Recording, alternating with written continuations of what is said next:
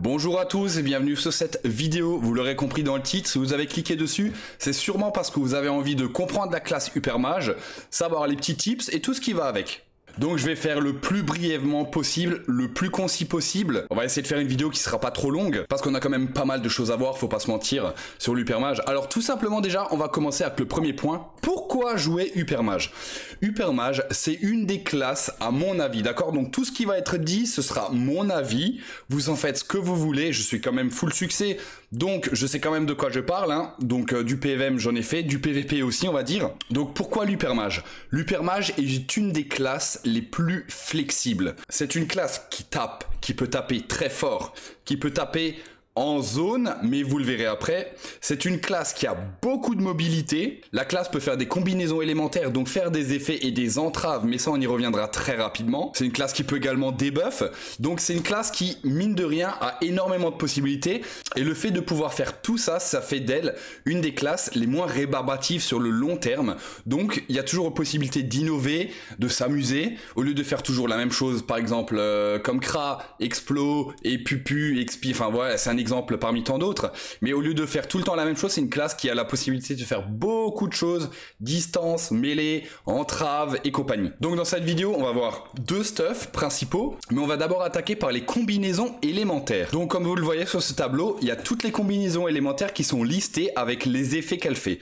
Donc, on va prendre la première ligne. Si, admettons, on met un état élémentaire, c'est-à-dire quand on tape haut, l'hypermage met donc un état haut sur la cible. Si derrière elle tape avec un sort d'un autre élément, elle met donc un autre état élémentaire et la combinaison des deux fera donc un effet. Donc là, vous avez la preuve devant vous sur ce petit tableau. Donc si je tape haut et que derrière je tape avec un sort feu qui fait donc une combinaison d'état haut et feu, ça met donc à l'adversaire un malus de 68. Et on peut voir ça sur tous les éléments évidemment. Donc si je tape haut et que derrière je tape terre, donc combinaison haut-terre, je fais un retrait PM de 3. Si derrière je tape R avec d'abord une combinaison haut, je mets donc un malus de dommage infligé de 15%. Et donc là sur le tableau, vous pouvez voir toutes les combinaisons élémentaires de chaque état. Donc ce que moi je vous conseille, c'est ce que j'ai fait les premiers mois. Je me suis pris un petit papier. Il n'y a que 6 combinaisons élémentaires, d'accord? Donc il y a le malus suite, le retrait PM, le malus de dommage infligé, il y a le retrait PA, il y a le vol de PO et il y a la vulné, donc 15% euh, de dommages subis en plus par la cible.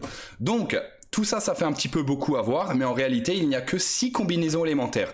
Donc, ce que moi je vous conseille, c'est prendre un petit papier. Vous notez juste, vous prenez un stylo 4 couleurs, par exemple. Vous notez état haut et feu, donc couleur bleue et rouge égale tel effet. Donc devant vous, vous aurez votre petit papier qui sera assez intuitif, hein, théoriquement, si vous avez mis un code couleur. Vous verrez quel état fait quoi, et on pourra vous dire que ça vous facilitera l'apprentissage des combinaisons élémentaires. C'est comme ça que moi j'ai commencé. À savoir que maintenant, en PVM, il y a quand même une combinaison élémentaire qui revient extrêmement souvent, à 99% des cas, c'est la terre-feu. Donc qui correspond à la vulnée de 15%, et après, en général, on tape dans l'élément où il y a le plus de faiblesses sur l'adversaire, tout simplement. En PVP, évidemment, ce sera pas toujours pareil. Mais principalement, ça revient toujours la même, quasiment la terre, feu, qui vulné et après on tape le plus fort possible. Mais des fois, vaut mieux voir directement comment ça se passe. Donc là, mon premier sort qui est brèche tectonique, qui est un sort terre. Donc si je lâche, ça fait un état terre. Donc comme je viens de l'expliquer, si vous mettez un état feu derrière, ça lui infligera une vulné de 15%. Donc là, il a juste un état terre. Donc je mets un sort feu qui fera une combinaison terre-feu. Voilà, et maintenant vous voyez qu'il a la combinaison terre-feu, donc dommage subi de 115%. Et après derrière on pourra taper avec 15% bah, de dégâts en plus. Donc c'est le sort qui revient systématiquement PVM quand même. Je vais également vous montrer un petit peu avec les autres combinaisons. Donc là par exemple, on peut voir si je veux faire du retrait PA, c'est une combinaison feu R. Donc j'ai un sort déjà qui s'appelle Tison, qui actuellement coûte 5 PA, mais il y aura encore des modifications qui arriveront avec la 268. Donc si je lâche Tison, on voit que c'est un sort qui fait une combinaison feu R. Donc je lui lâche dessus, feu R. Et là, comme il n'a pas de PA le putsch, évidemment, il n'y a pas de, retrait PA qui subit. Ça fait donc une combinaison feu R qui fait du retrait PA à la cible. On pourra également voir avec la réduction de dommages infligés. Donc combinaison OR, comme on peut le voir là, O et R, il infligera 15% de dommages en moins. Stalactite qui met donc un état O. Combinaison avec un état R, voilà. Ce qui lui fait donc au putsch réduit les dommages finaux occasionnés de 15%. Voilà. Donc la classe a également un potentiel de debuff. Donc elle a deux sorts pour debuff. Il y a le sort déflagration qui pour 4 PA debuff et met un état feu. Et on a également le sort piège élémentaire qui a une zone de deux cases. Et comme on peut le voir dans la description du sort, l'état terre réduit la durée des effets. Donc si je lui mets un état terre et que derrière je déclenche le piège élémentaire, ça consomme l'état élémentaire terre pour debuff un tour et après, on peut encore faire déflagration qui donc double des buffs. Donc pour 8 PA, on a des assez facilement. On a également le moyen d'optimiser le coût en PA pour le doubler des. Donc déflagration qui débuff donc d'un tour. On a le cycle, on va y revenir très vite. Le cycle qui change l'état élémentaire. Donc ça passe air puis terre. Donc là on a consommé 5 PA, 7 PA avec le piège élémentaire. Donc pour 7 PA, on a fait un double debuff. Maintenant, on va revenir assez rapidement au cycle. Donc le cycle élémentaire, comme je viens de le montrer, c'est un sort qui permet donc de changer l'état élémentaire sur la cible.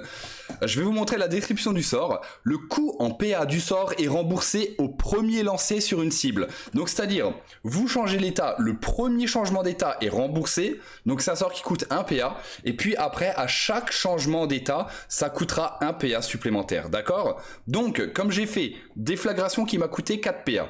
J'ai fait un cycle qui m'a donc passé dans l'état R. Je vais vous le montrer ici. Donc feu, le premier cycle qui passe dans l'état R. Donc celui-là m'a été remboursé. Le deuxième cycle cependant n'est plus remboursé, mais il m'a passé dans l'état terre. Donc ça fait que j'ai consommé 4 PA pour déflagration et 1 PA pour passer de l'état R puis terre, vu que le premier est remboursé. Et après, piège élémentaire qui m'a coûté donc 2 PA, donc 7 PA en totalité, et après je l'ai déclenché. Donc on peut optimiser pour 7 PA le double des buffs. Maintenant, c'est un peu délicat parce que si admettons après on est taclé par l'adversaire, c'est pas toujours le plus rentable. Donc c'est en fonction de la situation évidemment. Donc comme vous le voyez, un petit sur document, je vais évidemment vous le mettre en description. Donc comme vous voyez ici, il y a l'ordre du cycle élémentaire. Donc on peut retenir par TEFA, tout simplement, c'est marqué en bas. Voilà, euh, terre, eau, feu, air, terre, eau, feu, air, terre. Moi je les connais par cœur à force, c'est normal. Donc comme vous l'avez vu, hein, tout simplement, je suis passé donc de l'état feu à l'état air, puis à l'état terre, puis eau, et après c'est un cycle en boucle. Voilà, tout simplement. Donc celui-là, je peux vous conseiller également de le noter sur un papier, juste en dessous de vos combinaisons élémentaires. Ça sera toujours bon à prendre si vous l'avez devant vous. C'est toujours bon à prendre, surtout les premiers mois ou les premières semaines en fonction de votre vitesse d'apprentissage entre guillemets. On va pas passer en revue par contre tous les sorts, ça je vous préviens tout de suite parce que ça n'a pas spécialement d'utilité, vous les découvrirez par vous-même de toute manière. Donc maintenant on va passer au principe des runes. À chaque fois que l'hypermage mettra un sort, ça mettra sous l'entité également une rune. Et cette rune permet de faire des choses en fonction de l'élément de la rune. Donc là j'ai mis une rune terre avec un sort terre. Donc je vais vous montrer le principe. Le principe de chaque rune est listé également sur le document. Donc ce document est génial. Donc on a la rune terre que je viens de poser, que je vais déclencher devant vous. C'est une rune qui pousse de 3 cases en zone.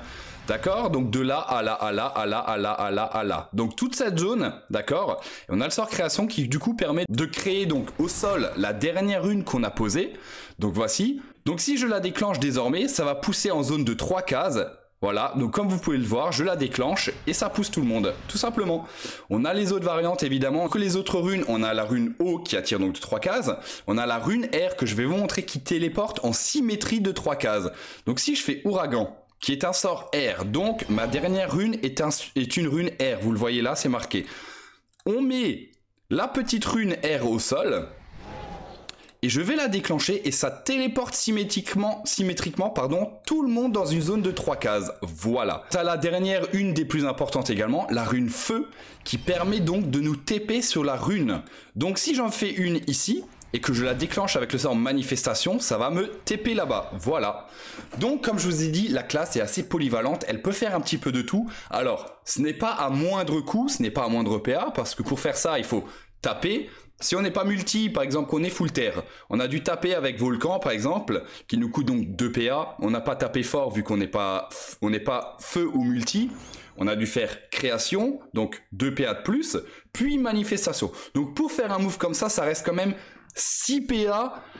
Voilà, la classe, elle peut tout faire, mais euh, elle ne le fait pas dans les meilleures meilleures conditions non plus. Ça, il faut le savoir avant, d'accord? Elle peut pas faire une TP du Xelor par exemple non plus.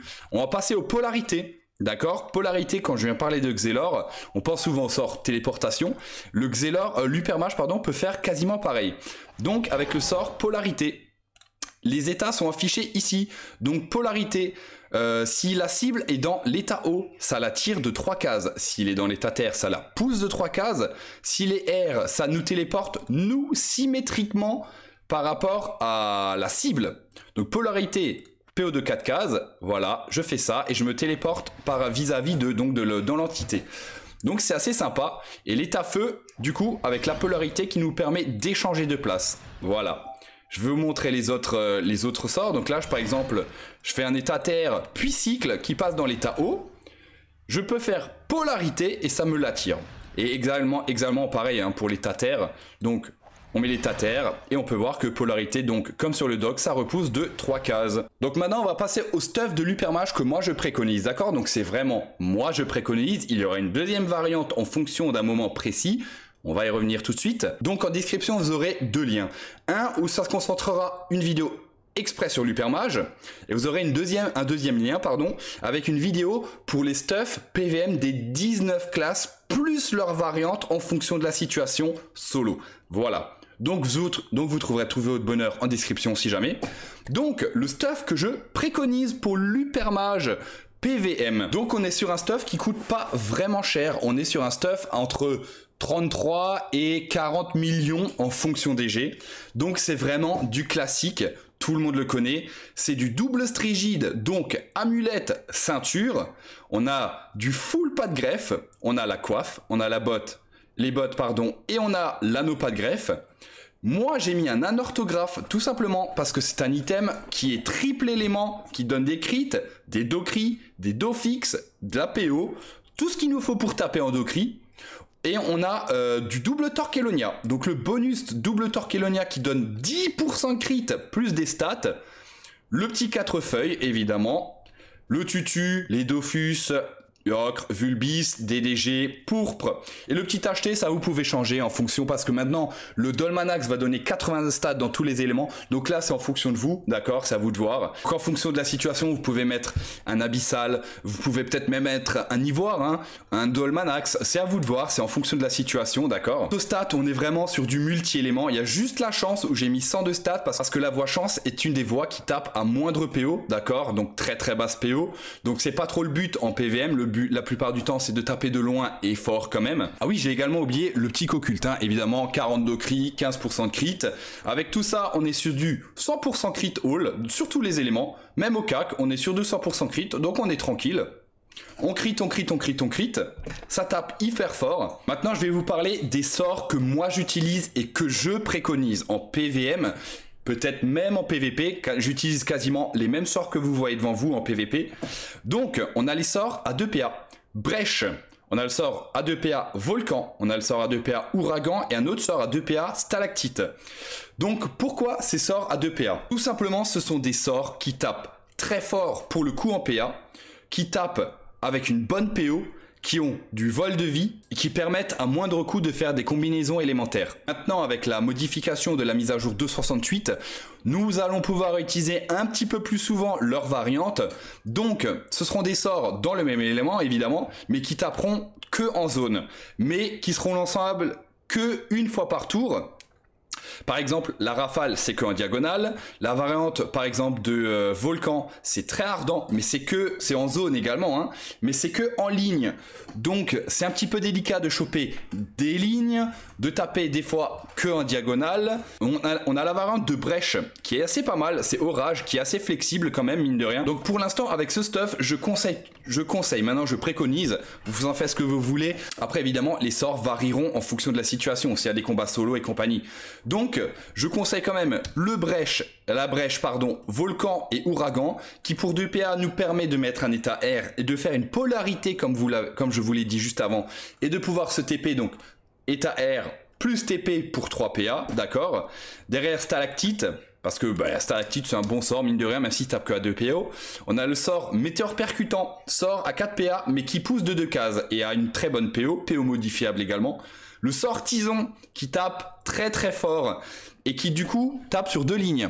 Vous voyez qu'il tape d'abord ligne feu, puis air. C'est-à-dire, si vous avez bien retenu, que si je fais une brèche qui met donc l'état terre, et que derrière je fais tison, ça met un état terre, donc brèche, puis un état feu de la première ligne, donc ça crée une vulnée sur la cible, puis du coup la deuxième ligne du sort tison, la ligne R, tapera avec les 15% de dommages supplémentaires. Donc c'est des combinaisons que je fais assez souvent, même en PVM. Hein. Vous pouvez le voir sur Twitch hein, si vous venez de temps en temps. Je fais brèche, tison. Du coup, la deuxième ligne tape très fort. Puis on a le sort drain élémentaire qui tape dans l'élément de la cible. C'est-à-dire, si je mets un état feu ou air, admettons j'ai mis un état air, et ben derrière, le drain élémentaire va taper air et en plus de ça, il va nous booster. D'accord? Donc actuellement, j'ai 180 d'agi en crit. Et pour 2 PA, comme vous pouvez le voir, je viens de taper un 832. Donc, si admettons on fait le tour que j'ai dit, c'est-à-dire brèche, Tison, qui du coup fait une vulnée et la deuxième ligne du sort Tison tape R, vous voyez les dégâts, ça va même être augmenté. Donc là, il y a la vulnée qui a été mise, vous le voyez, hein, sur le putsch. Il a la vulnée, vu qu'il a eu l'état R puis l'état feu. On peut drain derrière pour 1200. Et comme on est boosté en état R, autant taper avec le sort Ether qui tape R. Et voilà, 1050, on a fait un, un tour à... On a fait un tour à... Allez, admettons 2300... 3400, euh, on a fait un tour à 4500 quasiment, 4400, voilà, au calme, sans portail évidemment. On a également des sorts qui peuvent nous booster ou nous protéger en nous shieldant tout simplement, c'est le sort tribu qui est la variante de torrent arcanique, sort que j'utilise malgré le multi-docri. Euh, qui tape très très fort, surtout à travers portail, ça je peux vous garantir. Je fais des torrents arcaniques en zone entre 3000 et 5000. Donc on peut dire que c'est plutôt pas mal, ouais, mine de rien, malgré le multidocri. Évidemment, 3500, 4000 en songe avec des boosts. Hein. Mais bon, 3000, euh, je pense, avec portail, hors songe hein, quand même, mine de rien. Donc tribu, euh, si la cible a l'état terre et qu'on fait tribu sur elle, ça nous augmente les PM. S'il a l'état feu, ça nous applique à nous un bouclier de 480, donc on le voit, 240% du niveau en bouclier. S'il a un état haut, ça nous booste de 150 de puissance. Et s'il a un état R, le sort tribu qui nous coûte 1 PA, mais qui nous donne 1 PA, mais sur deux tours. On a un sort à peu près similaire, c'est contribution qui est qui est qui est ici. Voilà, contribution. Donc ça ça se met par exemple sur deux entités. Si deux entités ont l'état feu, ça nous met donc 240% de shield par entité. Mais c'est cumul max 2, d'accord? Si admettons, il y a euh, quatre 4 personnes qui ont un état feu et qu'on veut faire contribution sur soi-même, il n'y aura qu'un proc de 2 fois 240 de shield. C'est pas cumulable au-dessus de 2. Voilà, tout simplement. Et pareil hein, pour les PM, pour la puissance et pour les PA. Et c'est également hein, sur deux tours. Voilà, ça vous l'aurez compris. On a aussi pas mal de sorts qui peuvent nous permettre de nous bouger. Donc on a le sort par exemple lance solaire qui a 3 PA peut nous échanger de place. On a le sort déluge qui nous permet de nous attirer de, 2 de 4 cases. pardon. Euh, évidemment les sorts R hein, qui nous permettent donc de mettre l'état R puis une polarité qui nous TP donc symétriquement par exemple. Donc voilà, on a assez de mobilité, on a des trucs assez sympathiques. Donc c'est une classe qui peut nous permettre de faire un petit peu de tout, euh, qui peut nous permettre de régène, de nous shielder, de taper fort, de vulner, entrave PM, avec la combinaison par exemple, euh, bah voilà, eau et euh, eau terre, qui permet donc de virer jusqu'à 3 PM. Bon, évidemment, c'est un putsch. J'ai également oublié, c'est que à chaque combinaison élémentaire, d'accord, on gagne 50 de puissance pendant deux tours. Donc à chaque combinaison élémentaire différente, évidemment. Donc si là, admettons, je voulais en refaire une, donc je fais un état R de nouveau, tac, j'en refais une, voilà, au le boost puissance, donc notre passif, revient à deux tours, mais par contre, c'est pas cumulable, d'accord? Il faut faire à chaque fois des combinaisons différentes. Donc si j'en fais un deuxième, boum, voilà, j'ai 50 et 50. Évidemment, ça va partir. Donc là, je suis boosté 200 de puissance. Vous voyez, c'est marqué dans mon passif, sans puissance. Donc c'est vraiment une classe fun à jouer, avec un passif assez sympa. Il n'est pas exagéré, il n'est pas nul non plus. Donc voici le stuff que je propose et préconise pour certains combats de quête solo. Donc comme j'ai dit, il arrive souvent qu'on soit contre 5, 6, 7, 8 mobs et que ces mobs rush et qu'on soit surchargé. Donc pour parer à ça, on fait un mode qui va dans la mêlée. Donc voici le stuff on est full stat, d'accord? Si vous avez la possibilité, j'ai bien dit, si vous avez la possibilité, prenez une petite crocobure, vous allez voir pourquoi ça va être juste faramineux les dégâts c'est un, un stock qui va vous permettre vraiment euh, d'avancer sur tous les combats de quête solo où il faudra rusher ou alors où vous vous faites surcharger. Donc on est sur du full haut. On est full stat, 1400 de stats. On a 162 puissance et 182. Donc on est sur du full Elisael, d'accord? Full Elisael. Crocobure, on a une pestie de corruption. Si vous avez la possibilité, c'est vraiment un item qui ne coûte rien du tout. Déjà, euh, vous allez voir pourquoi, hein, grâce à l'effet légendaire. Si vous avez la possibilité de mettre une Dame Jess, je vous conseille. Vous pouvez remplacer par une ceinture glaciale, hein, tout simplement. Si vous n'avez pas les moyens pour une crocobure, heureusement que les prix ont baissé. Hein, maintenant, c'est du 15 millions à peu près. Si vous n'avez pas la possibilité, je vous conseille de le faire quand même, mais si vous n'avez pas la possibilité, vous prenez un Kanji Girark, hein, voilà, vous avez des bonnes stats et des bonnes raises. Derrière, on est sur du full offensif, sauf un émeraude. Pourquoi? Le but, c'est de tout simplement amener les mobs à soi tout simplement. Et derrière, on peut proquer 400 de shield. Grâce, euh, avec tout ça, on est sur du 30%, 30%, 20, 18, mais on a 20% de résistance mêlée grâce à la Jess plus Pesty. Donc ça, on prend honnêtement. On a du Volcorn pour les stats, Alliance Glour, Caniglou, et puis c'est tout. Donc je vais vous montrer comment ça se passe, comment je fais ça. Je me suis inspiré tout simplement de ma Sadida. Donc quand je me faisais submerger, tout simplement, au lieu de d'essayer de courir et de faire du RALPM, d'entraver, non, j'allais dans le tas avec un stuff bien adapté. Je vais vous montrer donc le but c'est d'attirer tout le monde à soi. On a éclat glacé, on a la polarité haut qui nous permet d'attirer de trois cases ceux qui sont dans l'état haut, et tout simplement le but est de spammer glacier, on se recon, on fait des boosts, on fait ça, runif. Du coup, ça tape en zone grâce au glacier qui, grâce à la 268, nous permet de taper tous les tours en zone, plus la crocobure derrière qui nous régène du 440, qui tape du 440 ou qui nous régène du 200 par entité. En général, on en a 4 au minimum. Plus la pestie. Regardez les, les dégâts de la pestie. 540. C'est-à-dire que là, en zone, on fait du 500, 500. Euh, on a le glacier qui tape quasiment du 1000 en zone. Donc on est sur du 2000 en zone minimum sans runif.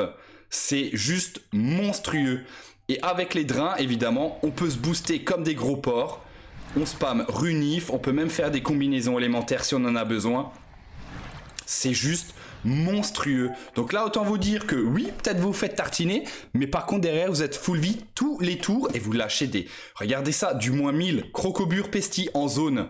C'est aberrant, hein. C'est vraiment aberrant.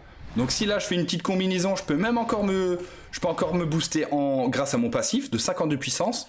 Donc là, je suis à 1850 de stats et 210 de puissance. C'est-à-dire que j'ai 2060 de stats. Autant vous dire, c'est monstrueux. Et derrière, on tombe pas, quoi. Derrière, vraiment, on ne tombe pas. Hein. Vous pouvez même faire des cycles, hein, du coup, pour vous shielder, hein, avec contribution. Donc, les feu sur les autres qui vous shieldent vous. Donc, euh, regardez les dégâts. Crocobure 500, Pestis 600, et tout ça en zone. Donc vous rochez dans le tas, vous attirez tout le monde à vous.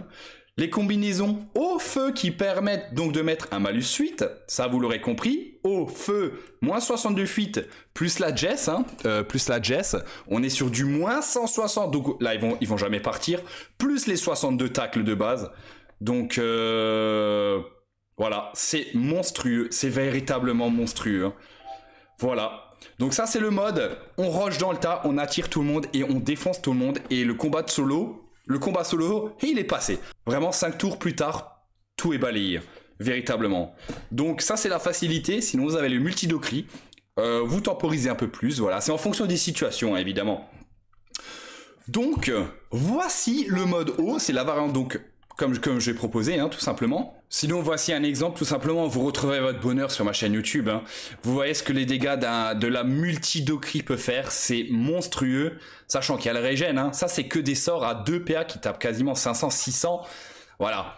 Euh, on peut ne pas toujours utiliser le mode haut, évidemment, hein. on peut utiliser euh, les, les sorts multi-docri pour beaucoup de combats. Il y aura énormément hein, de choses pour vous hein, sur la chaîne YouTube si jamais. Voici par exemple un deuxième combat avec euh, donc la multipad greffe, euh, pardon la strigide pad greffe torquée, donc full multi hein. Vous allez voir les dégâts que ça fait. Voilà, les dégâts sont monstrueux derrière. Donc euh, c'est en fonction de la situation, évidemment. Maintenant, si vous pouvez combiner avec d'autres classes, c'est génial, c'est top. Voilà, comme dit, vous trouvez tout votre bonheur sur la chaîne YouTube. Donc voilà, j'espère que la vidéo vous aura été le plus utile les manifestations, les combinaisons élémentaires, le document évidemment en description. Si vous voulez voir comment je joue Hypermage, le lien Twitch est en description. Je joue 99% du temps Hypermage, PVP, PVM. Donc tout est dans la description. Voilà, la chaîne replay si vous voulez voir du PVP Hypermage, la chaîne principale évidemment. N'hésitez pas à lâcher un petit pouce bleu. Et puis, si vous avez des questions, bah, n'hésitez pas à les mettre soit en commentaire, soit à venir directement dans le stream, et puis je vous y répondrai volontiers, tout simplement. Voilà. Bon, eh ben, j'espère que ça aura été utile. Merci à vous d'avoir été présent encore jusqu'ici. Bonne soirée à tous ou bonne journée, hein, tout simplement. A plus, ciao